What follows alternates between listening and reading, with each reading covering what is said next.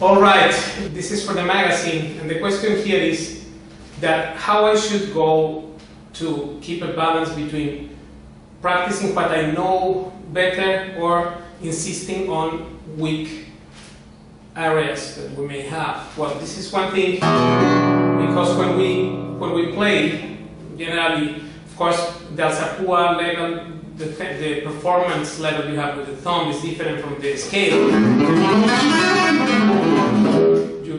Have more scales, plus scale weak or other things. So I generally will advise you to keep the balance. Of course, play what is your strength, but we have to hit there when there are areas or weaknesses, we have to kill those weaknesses. And this is very important, and that's what the, the role of the teacher should be to supervise that. And for those who know me, when you are there on Skype and I said, this is wrong, careful, repeat that, or get it better, or this can be better, is because I became expert to find out what's your weak spot. And then generally sometimes I go over that only because I want you to, to become strong at it. Let's say, for example, we are playing an improvisation, and then we said, well, I prefer fingering one. And then I said, well, do you know fingering five? And they go, no. that's why said that. So it's not that you prefer that, but you, you don't know the other thing. And that's why you say you prefer it. Many rationalizations comes there, come, comes there to the, to the play of these mind tricks. And the easiest way is that if you don't know how to find that, you should ask your teacher uh, which areas I need to improve. Some people is very good rhythmically, and then melodically maybe not so good. Others are good in melodies with great imagination for creating melodies, and then maybe the rhythm is not so good. So we have to be more or less balanced. Like I was explaining this about the playing with different fingerings on the on the piece you answer. You, you may find that you prefer one fingering. That's right. But this doesn't mean that you don't know how to play with the other fingerings. You prefer one, but you are jamming there, you maybe will will try to do what what you know will be your best, or with what you feel more comfortable playing. But this doesn't mean that you don't know the other stuff. You should know all the fingerings well and learn to play. And if, if one fingering, for example, you feel that you don't sound so well with that, then you should just go to that weak spot until you become strong.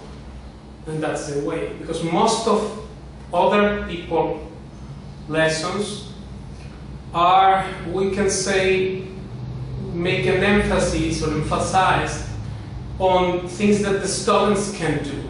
And then this becomes a sort of entertainment thing, in which you really, your level is the same. If I don't correct what you are doing or what you have weak, you will stay same level.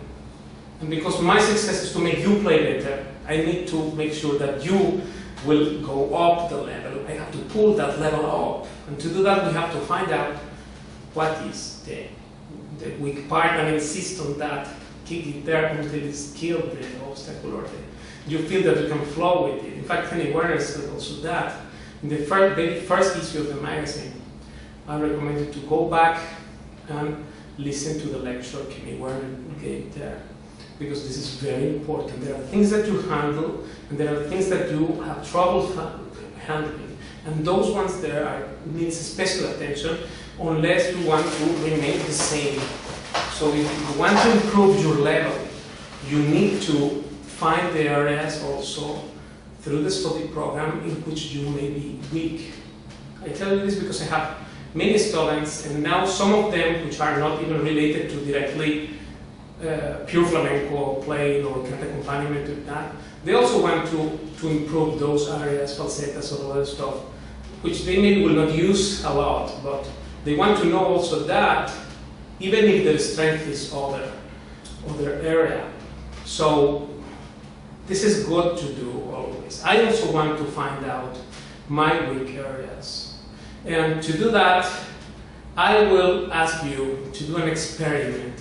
How, how you can become objective on this thing is that you record yourself. For example, let's say in the creativity spontaneous creativity thing. You put the video at the same volume you will play, and then record yourself playing a couple of minutes, soloing back and forth with me, and then you compare those that recording. You do that recording one day, and then 15 days after you record it again, and then you see both things, and then you will find if, if it is better the two weeks after stuff than the other. And if it is the same, then we have a problem in Houston, and we are not addressing it.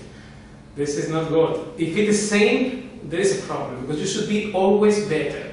As I said, this thing, the, the outcome, the real outcome of the study, of, of what we're learning here in CFG, it, it becomes subjective and objective. You have to feel you are improving, and it has to be true also. Because some people think they are great and they may not. That's why we are checking. I serve as a mirror.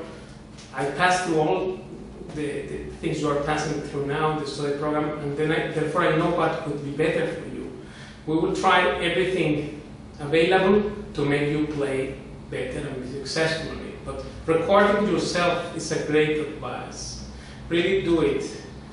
Look, I have near 2,000 videos, and I myself am used to these recordings. Sometimes I, I watch stuff from long time ago, and I, say, uh, "Wow, that, that could be better." Or we can see ourselves from outside when we are playing the stuff. We are so much over concerned to, to playing it that we don't listen how we are how our sound is or how we are sounding. So a good thing would be that you record yourself every week or every other week and then compare your progress, your sound, your tone, on everything there may be a chance to improve. And that's what it's about, our lessons. Because if you get better, then that's my payment. And that's why I do what I do to share these things with you. So thank you for asking such an interesting question from the magazine. And thank you for participating in this project. And I will see you next time.